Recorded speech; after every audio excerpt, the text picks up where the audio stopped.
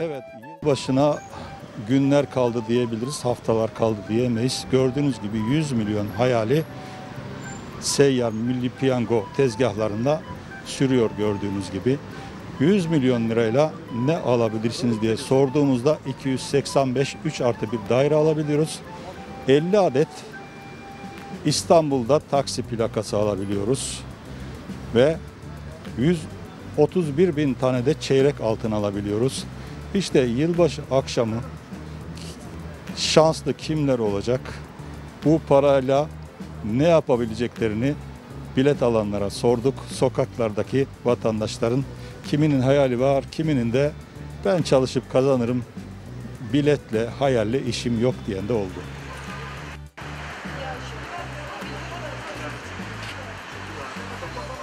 Mustafa Oktur. Beyefendi şansın bol olsun. Sağ ol, teşekkür ederim. Ne aldınız? Kazı kazan aldık. Yılbaşı için. Yılbaşı için iki tane bilet aldık. Bakalım şansımıza ne çıkar, ne çıkmaz. Tam mı aldın? Çeyrek. Peki 100 milyon lira sana çıkarsa ne yapacaksın? Vallahi bilmiyorum ki onun hayalini daha hiçbir şey kurmadık. Bak onunla 285 tane 3 artı bir daire alabiliyorsun. Evi yok sana. İstanbul'da 50 adet taksi plakası alıyorsun. Sen ne yaparsın mesela? Ya, çı- Saymakla bitmez şunu bunu alıyorsun da. ya hayal hayal kurmak ayrı bir olay da ama şeye de gerek yok. Fazla umuda da gerek yok. Şans iki tane nasip neyse ne olur. Bilet aldın hayırlı olsun. Hayırlısı olsun. Herkes ne kadar, ne herkese. Kadar, ne kadar şans görüyorsun kendinde? Ya bir umut var illa. Milyarda bir. Yüz, yüzde kaç? Milyarda bir. Yüzde binde bir. Peki çıktı varsayalım. Kafanda var mı şöyle bir plan? Hiçbir, Şunu şey- yaparım. hiçbir şey yok. Hiçbir şey yok. Hiçbir şey yok. Bana sağlığım olduğu sürece hiçbir şeye ihtiyacım yok fazla. Allah bana sağlık verdikten sonra mal olsan olur gene aynı şeyle gidiyor. Değişen bir şey yok. Nereden, çıktı o şeyden? 10 mi? on, Yılbaşı numara, numaralı. On numara. Büyük ikramiye çıkmıştı o zaman. Ne kadar zamanda harcadın o 100 milyon lirayı? 7-8 senede. İşini gördü mü? Fazlasıyla. Borcun var mı şimdi? Ufak tefek var. Biraz var. İşte şu gelir- pandemi bu pandemi olayına olmasa sıkıntı olmayacaktı ama işte pandemi herkesi sıkıntıya sokuyor yani. Gene şans gelir mi? İnşallah. 10 numaradan mı çıkmıştı sana? 10 numara. Büyük ikramiye. Şey, Yozgat, Yozgat'la iki, ikiye bölmüştük. 100 bini aldı, 100 bin ben almıştık. Öyle. O kadar. Başka bir şey yok. günde harcadın o parayı? 7-8 yılda harcadık işte. 7-8 yılda. Hı hı. Peki. Hayırlısı Bak. olsun. Çıktı bana. Ne çıktı? Sen çıktın mı abi? Beş 5 lira çıktı. Bonustan abi çıkınca Abi 5 ne lira. yapalım? Kazıyoruz can sıkıntısı. Kazanacağımızdan değil de. Zaman. Ne kadar çıkmasını umuyorsun? Ben zamanımı geçirsin diye bakıyorum abiciğim.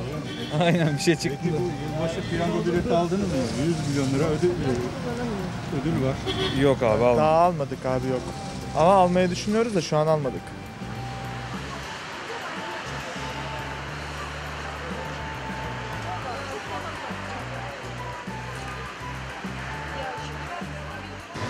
Evet, talih kuşu kime konacak hiç belli değil. Çünkü Milli Piyango seyyar bayilerinde işte arkamda gördüğünüz gibi yılbaşı için bilet alıyorlar. Çünkü yılbaşı akşamı 100 milyon lira ikramiye var. Gördüğünüz gibi son günler yaklaştıkça piyangocularda bilet alımları da hızla devam ediyor. Herkes şansını deniyor. Efendim merhabalar, bol şanslar diliyoruz. Kardeşim ben görmedim.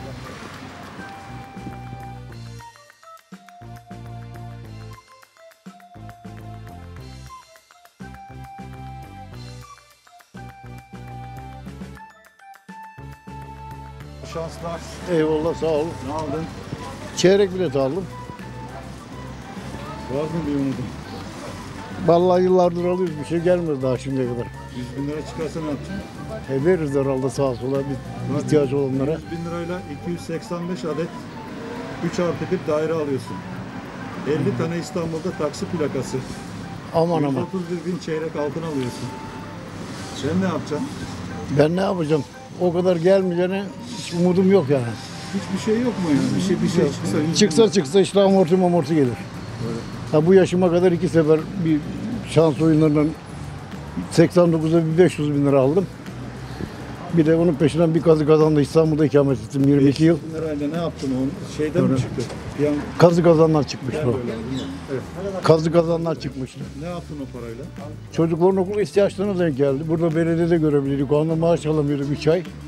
Tam denk gelmişti. 250'ye yakın çocukların masrafıydı. Borcumuz harcımız var. Temizledik. Belediyenin 3 aylık maaşına tekamül ediyordu. Peki talih kuşu gelip omuzuna konar mı?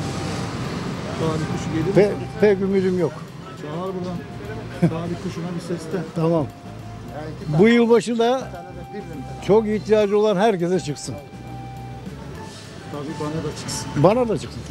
İhtiyacı olan herkese çıksın. Aldın mı Milli Piyango yılbaşı bileti? Yok almadım. Şansını denemiyor musun hiç? Yok. Niye? Çalışıyorum çalışarak şansım deniyor. Yetiyor mu para? Yetiyor. Emekli misin? Ne yapıyorsun? Ne çalışıyorsun? Yok çalışıyorum daha ediyorum. Şimdi bu yılbaşında 100 milyonluk ikramiye veriyor ya. Milli Piyango İdaresi'nin o verdiği paradan 285 tane 3 artı 1 daire alıyorsun. Kim ayrını gördü şimdiye kadar? Alanlardan kim ayrını gördü? Sen ta- söyle sen anlat yani. Yok ben duymadım hiç. Adam daha geri gitti. Onun için hiç gerek yok. En güzel ikramiye çalıştığın ikramiye. Bak yılbaşında emekli olacağım ne güzel ikramiye. Abinin teriyle kazan diyorsun. Aynen öyle. Peki 100 milyonluk hayal kuramayız mı? Yok Kimse kurmasın mı? yok. Sen söyle anlat. E şimdi 100 milyonluk hayal kurdun. Dışarı çıkamıyorsun, akrabana gidemiyorsun. E şimdi canım yemek çekti, lokanta yiyemiyorum. E ne yapacaksın o parayı? Ama 100 milyon lira çıkarsa akraban da çok çıkıyor o zaman. E, ya benim akrabalarım güzel bana yetiyorlar. He? Benim akrabalarım güzel, hepsi bana yetiyor. Hayır bak 100 milyon paran olduğu zaman çok o zaman akrabalar çıkıyor ya. Gerek yok, gerek yok. En güzeli helal para. Doğru değil mi? Ben soruyorum sadece. Aldın onu, ondan sonra bulaştın, affedersin karıya, kıza, arabaya. Ne oldu? Hadi eyvallah. Bir sene sonra, karıştı. bir sene sonra ayaklar havaya. Düşmanım da artar, para düşmandır. Öyle mi?